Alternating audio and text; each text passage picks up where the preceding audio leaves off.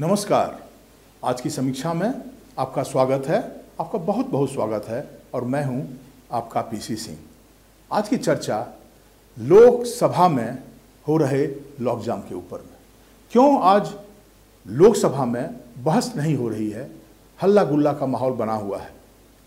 उसका कारण ये है कि अभी कुछ दिनों पहले जो कांग्रेस के लीडर राहुल गांधी ने अपने लंदन यात्रा के दरमियान जो उन्होंने अपने कई कार्यक्रम में कैम्ब्रिज यूनिवर्सिटी में चैथम हाउस में जो एक थिंक टैंक है और पत्रकारों से बात करते हुए जो देश की स्थिति के ऊपर उन्होंने जो बयानबाजी किया उन्होंने कहा कि देश में डेमोक्रेसी के ऊपर खतरा है फ्रीडम ऑफ़ एक्सप्रेशन पे प्रश्न चिन्ह लग रहा है और कोई भी ऐसा आ, मतलब संस्थान नहीं है चाहे जुडिशरी हो या पार्लियामेंट हो या बाकी कोई संस्थान हो जो कि स्वतंत्र रूप से काम कर रहा है। सब चीज़ों के ऊपर में सर, सरकार का नियंत्रण बना हुआ है। ये राहुल गांधी एक विपक्ष के नेता के रूप में वहाँ पर बोल रहे थे इन चीज़ों की बात कर रहे थे। लेकिन भाजपा ने उस चीज़ों को और यहाँ की सरकार ने इस इसको राहुल गांधी के खिलाफ ये कह रहे हैं कि राहुल गांधी देश की शिकायत कर रहे हैं बाहर में शिकायत कर रहे हैं ये अच्छी बात नहीं है उनको माफ़ी मांगना चाहिए।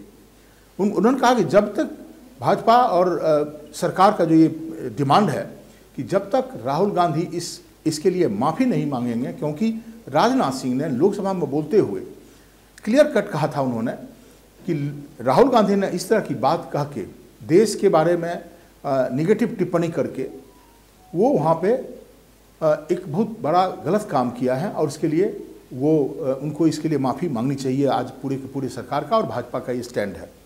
दूसरी तरफ़ राहुल गांधी ने कहा कि मैं एमपी हूँ, मैं जनता का रिप्रेजेंटेटिव हूँ और मुझे अपनी बात को रखने का अधिकार है।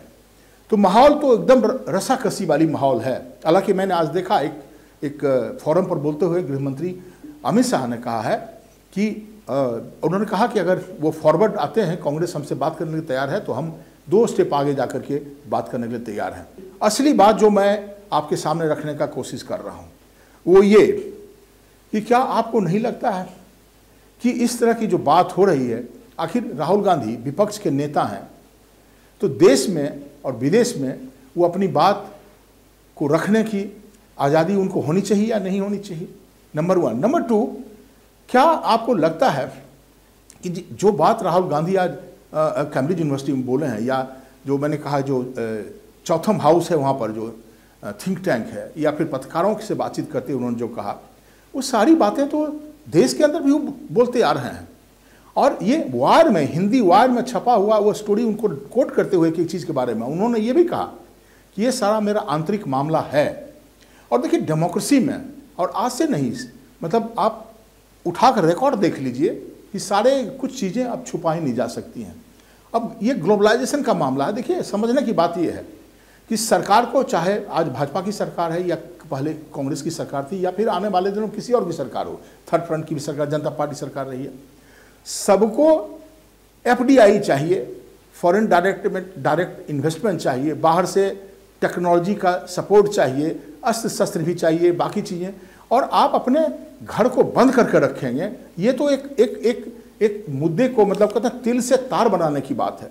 मान लीजिए कि राहुल गांधी ने वहाँ नहीं कह करके यहाँ पर कहता तो क्या लोग उसको नहीं जानते? तो ये तो एक एक मुद्दा बनाना। और राहुल गांधी ने इस बात को आज कह रहे हैं, इस बात को, कि असली मुद्दा से सरकार हम लोगों को और देश को भटकाना चाहती है। अडानी के ऊपर में क्यों नहीं बात कर रही हैं? और भी कई तरह का उन्होंने डिमांड किया। और उन्होंने खुलेआम वहाँ पे कहा था कि देखिए, ये देश का आंतरिक मामला है। लेकिन जब डेमोक्रेसी के ऊपर प्रश्न चिन्ह लगेगा तो ये सिर्फ़ भारत तक ही मतलब चीज़ें निहित नहीं होकर रह जाएँगी। क्योंकि डेमोक्रेसी और इस तरह के जो वैल्यूज़ हैं, ये बेसिकली वैश्विक मामला हो जाता है ग्लोबल मामला हो जाता है। और देखिए, जो विपक्ष का नेता होता है, आखिर मैंने किस बात को क्या बोल रहा है, ये तो बेसिकली कहते हैं मैटर ऑफ़ इंटरप्रिटेशन हो जा रहा है। तो राहुल गांधी को मैंने देखा, और सबसे जो बड़ी बात है कि अतीत में भी आप देख लें, मैंने इसके बारे में चर्चा भी किया था कि जब यहाँ पे जयप्रकाश का आंदोलन हो रहा था तो मुझे याद है, उस समय कांग्रेस सत्ता में थी, कांग्रेस आई और उनके साथ सीपीआई थी। और पटना के गांधी मैदान में आ, मतलब नारे लग रहे थे और इसको ऑफिशियली कहा गया था कि जयप्रकाश नारायण फासिस्ट हैं। लेकिन बात क्या है कि लोग जब अपने सत्ता में आप रहते हैं तो आप अपने अनुकूल जिस बात को कहना चाह रहे हैं कह देते हैं। और विपक्ष जो है वो अपनी बात रखेगा इसमें कोई दोमत नहीं है। तो उसमें जयप्रकाश जी ने कहा था कि आप स्पष्ट रूप से कहा था इस बात को मैं पहले भी कर रहा हूँ कि कि अगर आप आरएसएस को फा, फासिस्ट कर रहे हैं तो समझिए कि हम भी फासिस्ट हैं। चूँकि उनको भी जो असली मुद्दा था उनको कि इंदिरा गांधी को हराना था इमरजेंसी खिलाफ और और जो लोग जेलों में बंद थे जो भाजपा से लेकर के सारे लोग उसमें बड़े बड़े नेता थे सब उसमें बंद थे। तो विपक्ष का काम है अपनी अपनी बात को रखना और जो सरकार है, वो अपने आप को डिफेंड करने का भरसक प्रयास करती है। इसमें कोई बहुत बड़ी बात नहीं है। मैं जो आपसे बात, असली बात जो मैं जो फील कर रहा हूँ, मैं ये फील कर रहा हूँ कि आखिर सरकार इतना क्यों घबराई हुई है? क्यों इससे चिंतित है? अभी भी नरेंद्र मोदी के पास अपार शक्ति है और और बहुमत है और देश में भी उनके समर्थन में लोग हैं। ऐसा नहीं है कि कोई कोई उनकी लेकिन ये समझ में मुझे बात नहीं आ रही है। चाहे राहुल गांधी का विदेश यात्रा पर जो दिए गए भाषण है उनका, या कुछ दिनों पहले बीबीसी का डॉक्यूमेंट्री निकला और फिर अभी न्यूयॉर्क टाइम्स में एक लेख छपा। तो उसके ऊपर इतनी, इतना एतराज़ मैं मानता हूँ कि बीबीसी भी दूध का धुला हुआ नहीं है, ये मैं पहले भी बोल चुका हूँ। और विदेश में कई अखबार, ये हम लोग पढ़ाते हैं अपने बच्चों को, कि जितने भी बड़े बड़े देश में जो एजेंसियाँ हैं, न्यूज़ की एजेंसियाँ हैं और अखबार हैं, वो अपनी बात को रखते हैं और अपने अनुकूल बात कहते हैं और जो थर्ड वर्ल्ड कंट्रीज़ की बातों को, उनके यहाँ डेवलपमेंट की बात कम कहते हैं और इस तरह की खबर जो ज़्यादा लोगों को अटेंशन ड्रॉ करे, उसको छापते हैं। लेकिन आप इस बात को मान लीजिए कि बीबीसी का अपना एक क्रेडिट है। आपके कह देने से ऐसा नहीं कि पहली दफ़ा बीबीसी को यहाँ पर उसको बैन किया गया उसके प्रोडक्शन को। बीबीसी को बैन कर दिया गया था एक बार, इंदिरा गांधी के टाइम में। तो इन चीज़ों से बहुत ज़्यादा फ़र्क नहीं पड़ता है। और सरकार को, और खास करके जब इतनी ताकतवर सरकार है तो उसको तो अपनी बात रखनी चाहिए, और तरीके से रखनी चाहिए, कोई खास बात नहीं है इसमें। और विपक्ष को बोलने का काम है, वो बोले। और जब देखिए, होता क्या है कि जब विपक्ष पर इस तरह की बात करते हैं, और अंकुश लगाने का कोशिश करते हैं तो कहीं कहीं एक संदेह पैदा होता है।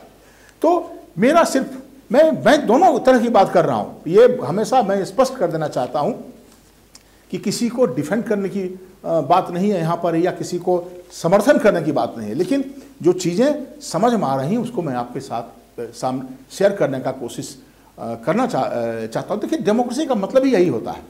आखिर प्रजातंत्र कैसे काम करेगा? अगर पार्लियामेंट ऐसा नहीं है कि पहले भी ऐसा नहीं हुआ है लॉकडाउन कई बार ऐसा हो चुका है।